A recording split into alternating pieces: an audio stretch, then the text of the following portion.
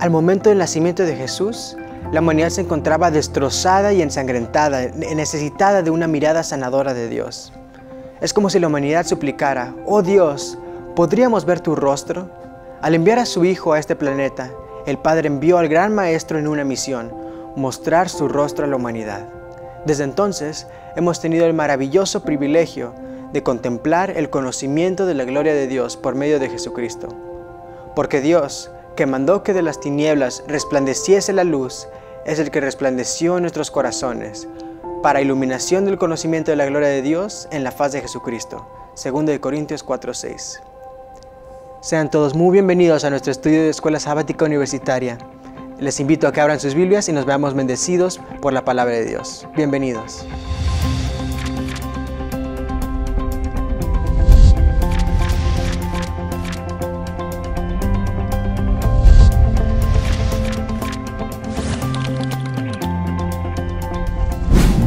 Ciertamente es un gozo estar con ustedes nuevamente aquí para repasar y estudiar nuestra lección. Esperamos que todos sean muy bendecidos y antes de iniciar quiero pedirle a, Daniela si nos puede ayudar con una oración. Claro que sí, los invitamos a todos a que inclinen su rostro para hacer una oración. Amante y cariñoso Dios, que moras en las alturas de los cielos, santificado sea tu nombre. Señor, en esta en este momento nos acercamos hasta tu trono de justicia para solicitar una porción de tu Espíritu Santo, para que al abrir eh, tu santa palabra sea quien nos conduzca, transforme nuestros corazones. Señor, eh, las necesidades que eh, tenemos, por favor, atiéndelas y perdona nuestros pecados. En Cristo Jesús, amén. Amén. Bueno, el día de hoy vamos a comenzar con la pregunta, ¿qué vino a enseñar Jesús? ¿A quién representaba?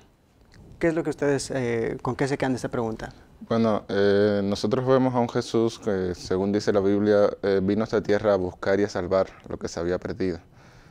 conocemos que en aquellos tiempos los publicanos, los, digamos, los fariseos, los saduceos, eran personas que estaban instaurando un cristianismo o, digamos, una religión donde se tenía que cumplir estrictamente la ley y estaban dejando de lado necesitados, estaban dejando de lado eh, a muchas, muchas personas que estaban sufriendo, principalmente por, el gobierno romano que había en aquel entonces.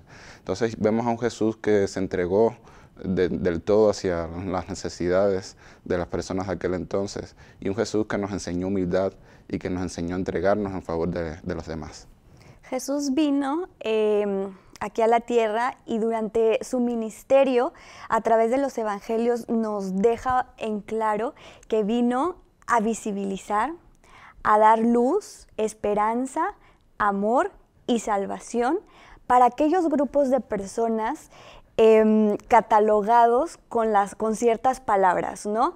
A los excluidos, a los pobres, a culturas diferentes, a personas con creencias diferentes, a mujeres, ¿no? A, endemoniados, a personas con enfermedades, que, estas personas eran excluidas. Incluso, bueno, también vemos que, a los ricos, ¿no? Porque hay, hay, de todo. Entonces vino a que en, estos, en esta segmentación de grupos vino hacer esta unidad, a que el Evangelio es para todos y no solo para algunos, a disminuir estas brechas a través de su ejemplo y de la acción, no, quedar, no de un Evangelio teórico, sino vino a ejercerlo de manera práctica. Así es, dices algo específicamente muy clave, vino a hacerlo de manera práctica, no solamente teórico, es lo que le estaba pasando a los saduceos, a los fariseos, es que ellos vivían un cristianismo que, que se enfocaban mucho en el yo y hacían al lado al, prójimo. Ahora, eh, Carlos, nos ibas a leer un versículo, se encuentra en, Juan 14, 6 a 7. Ah, dice, Jesús le dijo, yo soy el camino y la verdad y la vida. Nadie viene al Padre sino por mí. Si me conocieseis, también a mi Padre conoceríais, y desde ahora le conocéis y le habéis visto. Jesús es el maestro de los maestros porque no solo Él atendía a aquellos que estaban siendo excluidos, pero Él era nuestra conexión y Él vino a esta tierra a vivir el ministerio que no se estaba llevando a cabo, que no se estaba viviendo de una manera correcta por los cristianos de aquel tiempo. Muchos no creían que él era Dios o, se burlaban o hacían mofa de que él decía que él era hijo de Dios. Es, por eso una de las razones principales por las cuales eh, los, saduceos y fariseos de aquel tiempo lo cuestionaban y lo querían acusar de falsedad. En Hebreos 1.1.4 nos dice, eh, Abel, ¿nos puedes leer Hebreos Sí, cómo no. 1.1.4? Hebreos capítulo 1, versículo del 1 al 4. Dios, habiendo hablado muchas veces y de muchas maneras en otro tiempo a los padres por los profetas, en estos últimos días nos ha hablado por el Hijo, a quien constituyó heredero de todo, y por quien asimismo hizo el universo, el que es el resplandor de su gloria, la imagen misma de su sustancia, y que sustenta todas las cosas con la palabra de su poder, habiendo efectuado la purificación de nuestro pecado por medio de sí mismo se sentó a la diestra del Padre, de la majestad en las alturas, hecho tanto superior a los ángeles, cuanto que heredó más excelencia en nombre que ellos. Muy bien. Los autores del Nuevo Testamento todos coinciden en que Jesús vino a la tierra para mostrar a los seres humanos quién era el Padre. Porque eh, habían tenido una vi- visto parcialmente lo que Dios había hecho, y, pero sin embargo Jesús había llegado para dar una revelación definitiva y total de Dios. Juan 1.1 nos dice, en el principio era el verbo y el verbo era con Dios y el verbo era Dios. A veces pensamos que Jesús no formó parte en la creación y solo llega a, tomar parte cuando Jesús nace en esta tierra por representación de Dios. Pero si vamos luego a Juan 1.14 nos dice, y aquel verbo fue hecho carne y habitó entre vosotros. Aquí ya se está refiriendo a Jesús, en lo cual nos dice que si en el principio era el verbo, que también era Jesús y Dios, ahora habita entre vosotros y vimos su gloria, gloria como el unigénito del Padre, lleno de gracia y de verdad. Si nosotros deseamos conocer al Padre, ¿qué es lo que debemos de hacer? Acercarnos al Hijo. acercarnos al Hijo, a nosotros acercarnos al Maestro, a nosotros seguir su ejemplo. Es la única manera que vamos a, a tener esa conexión con Dios. Jesús reflejó con precisión al Padre y esto es algo que nos, también nos invita a nosotros a hacer. Y quiero preguntarles, ¿cómo nosotros podemos imitar a, a- a Jesús? Creo que algo muy importante que también se puede usar contestando la pregunta anterior de qué vino representando Jesús, creo que algo muy importante es que Jesús también vino como en muestra de un amor incondicional, porque o sea, al principio Dios, para empezar, Dios era Dios, ¿no? Entonces Dios supremo y vino a hacerse humano, entonces eso también es como que muestra de amor, ¿no? Y, y Cristo dio a su Hijo unigénito por morir por nosotros, ¿no? Entonces eso también refleja amor por nosotros.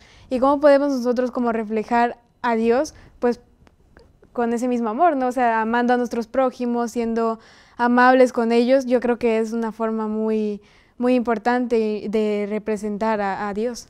Para Sí, llegar a, eso, a esos hechos, eh, considero que eh, en, este, en este acercamiento, eh, primero tenemos que conocer quién es Jesús, ¿no? Entonces, ¿quién mejor los escritos bíblicos para reflejar quién era, cuál era su carácter, qué es lo que hacía, cómo vivía diariamente? Él, él no era diferente a nosotros, entonces, bueno, en un día normal como el que tenemos nosotros, Jesús, ¿qué hacía? Entonces, al tener esta eh, meditación sobre, sobre eh, su ministerio aquí en la tierra y estar en comunicación con Él a través de la oración, eh, son algunas de las maneras en cómo podemos llegar a comprender lo que Jesús hacía y de esa manera ser como un ejemplo, ¿no? Parte de nuestra educación, y lo vemos en los niños, la manera en que apren- aprendemos es viendo.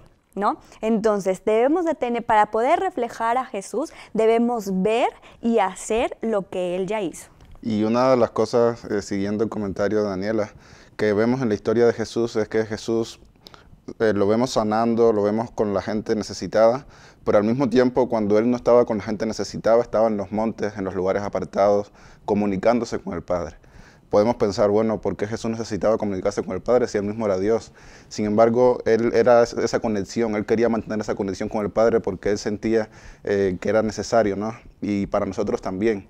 Eh, encontramos cristianos en estos días y me ha pasado también que a veces nos tomamos un descanso del cristianismo y decimos hoy no voy a estudiar, eh, hoy no voy a orar, hoy voy a ver películas todo el día y vemos a un Dios que no descansó en función de la obra que tenía que hacer en esta tierra.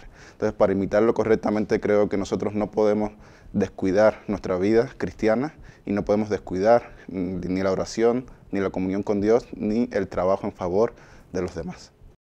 Creo que Él, como dice la Biblia, ¿no? Él es el camino, la verdad y la vida. Entonces, eh, nosotros no podemos de respirar, sino morimos. De la misma manera, Jesús es la vida. No podemos dejar, aunque sea por un día, de tener esta relación con Él. De lo contrario, pues espiritualmente estaríamos muertos. Claro, lo que Jesús vino a hacer entonces es, Él nos dio el ejemplo que nosotros como cristianos debemos anhelar o, debemos imitar. Es más, Efesios 5.1 nos dice, sed pues imitadores de Dios como hijos amados. Ciertamente Jesús vino a darnos ese ejemplo, esa pauta que nosotros debemos de seguir. Él llevó a cabo una vida humana, Él fue tentado como nosotros fuimos tentados, o, o vamos a llegar a ser tentados en algún futuro, y Él venció todo esto, pero ¿cómo? A mí me gustaría hacer una tipo de ilustración. Yo siento que nuestra vida espiritual debe ser, es como eh, la batería de nuestro celular. El celular para, eh, para poder funcionar bien y ser eficiente, ¿qué necesita? Batería. Entonces, si un celular tú lo cargas por 10 minutos, no puedes esperar que te rinda todo un día. No, no, no hay una batería tan eficiente y, lo mismo se aplica a nosotros. No podemos esperar ser de bendición para otros durante un día o, imitar el carácter de, de Jesús si nada más pasamos una relación con Él de minutos. Lo que quiero decir con esto es, Jesús pasaba tiempo buscando noches enteras, oraba, pidiéndole a Dios que lo guiara. Y es el mismo caso con nosotros. Nosotros estamos en una guerra contra el enemigo y la única manera que vamos a poder seguir adelante y no desanimarnos es buscando constantemente fortalecer nuestra relación con Dios. Les quiero hacer una pregunta. ¿Qué situación podremos estar nosotros pasando uh, en, en, estos momentos en la que humillarnos nos podría dar la oportunidad poderosa de reflejar el carácter de Cristo. Yo creo que es importante el hecho de, de, que nosotros dejemos al lado el orgullo. Sucede que en ocasiones nosotros creemos haberlo alcanzado todo y dejamos, entonces damos poca entrada a Dios en nuestras vidas porque no estamos reconociendo nuestra necesidad de Él. Entonces es importante humillarse, humillar el yo y reconocer cuánto necesitamos de Dios para que entonces Él pueda eh, seguir obrando en nosotros. Así es. Creo que eh, también hay muchas ocasiones en las que nosotros cargamos con todo. Eh, y, es necesario que, eh, los problemas, que eh, la familia, que el trabajo, que los estudios, no sé, diferentes motivos que van construyendo como una carga ¿no? para, para nosotros. Entonces, em, Jesús nos invita a que lo, lo, incluyamos dentro de, de, de nuestras vidas cotidianas para que Él nos ayude a sobrellevar las cargas. Así es, yo siento que a veces olvidamos que también como Jesús, Él podía acudir al Padre para que le, diera este aliento y seguir adelante. Nosotros tenemos la misma manera de poder comunicarnos con Dios a través de la oración y a través de nuestro estudio personal de la Biblia. Ahora queremos hacer una pregunta a nuestro experto. ¿En qué sentido la reconciliación constituye la esencia y la encarnación de Cristo y su papel como gran maestro? Basados en 2 Corintios 5, 16 al 21. La encarnación de Cristo Jesús es la esencia de nuestra reconciliación con Él y de nosotros con los demás. Déjame decirte que en todos los sentidos, Cristo Jesús cumple ese ministerio de reconciliación. Él, al venirse a encarnar, unió lo celestial con lo humano. Ahí se efectuó una reconciliación. Ahora, esto se debe de reproducir también en nosotros. Nosotros con Él en primer lugar y en segundo lugar nosotros con los demás. Eso nos da tres sentidos. Uno, en el sentido espiritual. Dos, en el sentido social. Y tres, en el sentido misional. Saben que Jesús fue un ejemplo de reconciliación. Él fue un modelo que llevó a la experiencia la realidad de bendecirnos con la reconciliación hacia con Dios. Él en su propia vida modeló el amor en primer lugar, en segundo lugar la humildad y en tercer lugar la condescendencia. Él al venir a este mundo mostró estas tres cosas esenciales. Por eso Jesús es un modelo para nosotros, un modelo a imitar. Ojalá que podamos cada uno de nosotros imitarle en, en reflejar ese amor, esa humildad y esa condescendencia con los demás.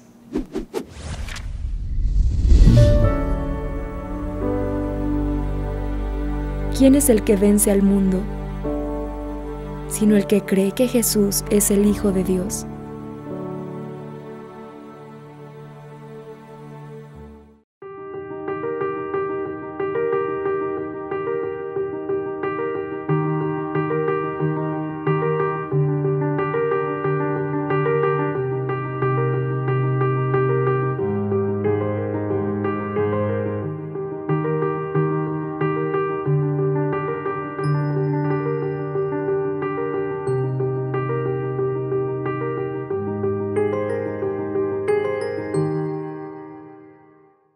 Muchas gracias a nuestro experto por ayudarnos respondiendo esta duda. Y ahora este, le quería pedir a Carla y a Daniela que leamos los versículos que estaban en la pregunta.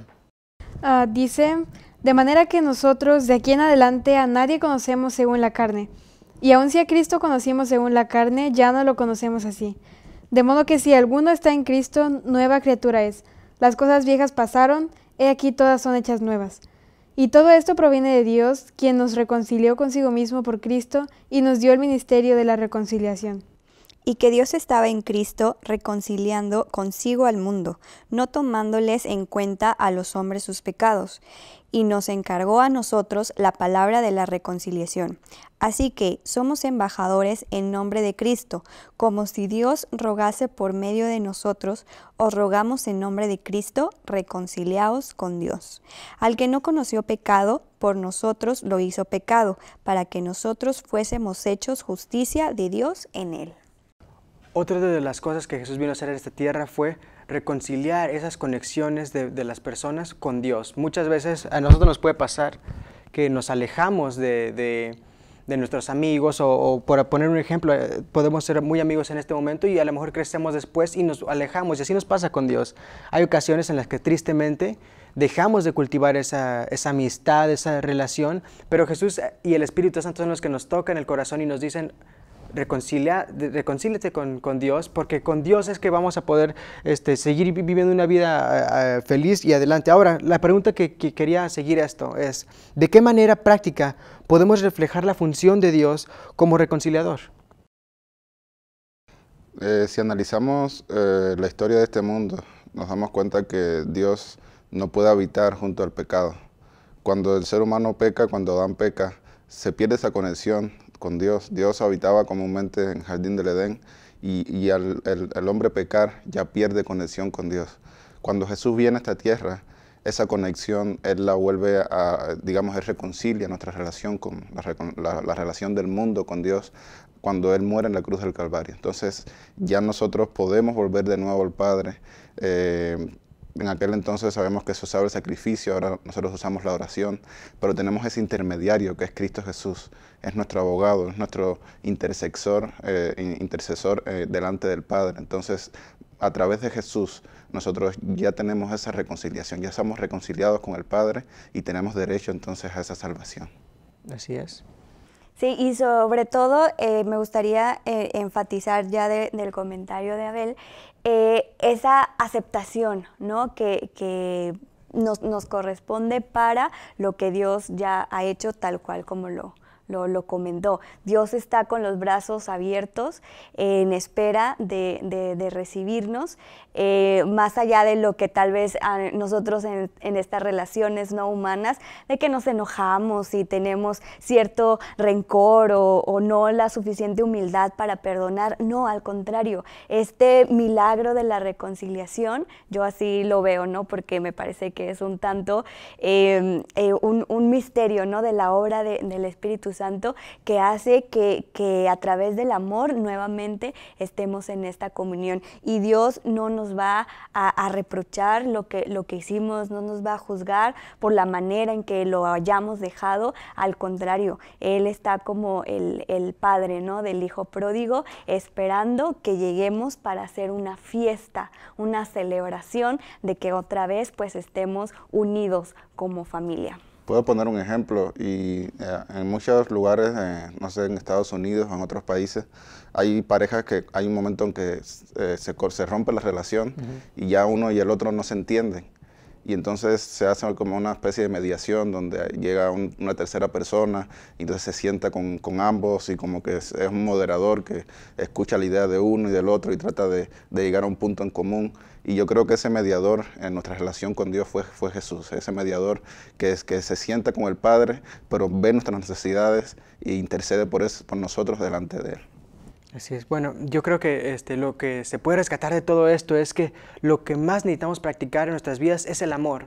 Si nosotros estamos llenos del amor por el Espíritu, nosotros vamos a ver a nuestro prójimo no con ojos de, jueces, porque hay veces que somos muy rápidos al ver a, los demás y decir, ah, mira, yo este, hice mi, devoción y dos horas estuve orando y él, eh, por lo que vi, cinco minutos o cosas así por el estilo. Hay veces que nosotros, al ser humanos pecaminosos, vemos a los demás y sentimos que tenemos el derecho que es, solo de Dios. Dios dice que Él es el juez y Él es el que en los tiempos del fin, Él va a decidir este, las consecuencias que, le toca a cada quien. Sin embargo, ¿cómo es que nosotros podemos saber qué es lo que nosotros debemos hacer o cómo saber si alguien es un buen cristiano? Porque muchas veces, esta es una pregunta que ahorita me van a responder, porque, porque muchas veces pensamos que el ir a la iglesia es parte del cristianismo, el asistir a la sociedad de jóvenes es parte del cristianismo, el leer tu Biblia, el orar, todo esto es, parte del cristianismo, pero el, el, que tú hagas estas cosas no significa que tú puedes ser un buen cristiano, no te denomina o no es el resultado que va a ser un buen cristiano. ¿Qué es lo que ustedes piensan que necesitamos o la fórmula para poder ser buenos cristianos? Hay veces que nos centramos mucho, como, como dice eh, uno, un versículo, ¿verdad?, en observar la paja en el ojo de la otra persona y no vemos nuestra propia vida, ¿no? Entonces, a veces que perdemos este tiempo por estar eh, cuestionando, criticando o, mm, desgastando diversos recursos en, cuestiones que no edifican y que no construyen espiritualmente. Entonces, para mí aquí inicia una de las características de un verdadero cristiano, el que refleje a través de su vida debido a una transformación en Cristo Jesús, los frutos del Espíritu Santo, comenzando con el amor. Ese es el más grande y maravilloso eh, don, ¿verdad?, que, tenemos de amar al Padre, de amarnos a nosotros mismos y de amar a nuestro prójimo. En esto eh, se, englobaría em, pues parte de la respuesta a tu pregunta. Sí, en Juan capítulo 4, eh, versículo 8, dice que el que no ama no ha conocido a Dios porque Dios es amor. ¿Y cómo conocemos a Dios? ¿Cómo conocemos ese amor? Pues estudiando la vida de Cristo. Cuando vemos todo lo que hizo en esta tierra, su ministerio, ahí reconocemos cómo demostrar ese amor, cómo dar amor. Eh, entonces, cómo amar correctamente. Entonces, realmente nosotros tenemos que fijarnos mucho en la vida de Cristo y, y, replicar esas cosas que Él hizo para demostrar amor a la humanidad. Y yo creo que esa es la principal característica de un cristiano, que tú sepas que ama, que tú lo veas en sus obras, que Él ama realmente a los demás y viendo parte del juicio de, de, Dios, ¿verdad? Que bueno, que sabemos que, que es una justicia no humana. Eh, en, en, Mateo 25, ¿verdad? Vemos ahí cuando ya está em, la humanidad separada en, en, los grupos que le dicen, bueno, ¿y cuándo estuvimos haciendo todas estas cosas que tú mencionas? Ayudando a los necesitados, visitando a los enfermos, a los que estaban en la cárcel, a los hambrientos, etcétera. Eh, porque este, este amor